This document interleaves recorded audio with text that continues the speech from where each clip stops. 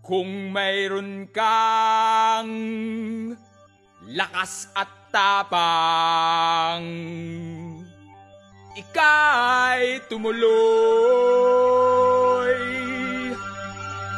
Kung ika'y narito upang makiusyoso, agad lumisan kung madali kang madala ng simbuyo ng damdamin. Bisan din. Hindi.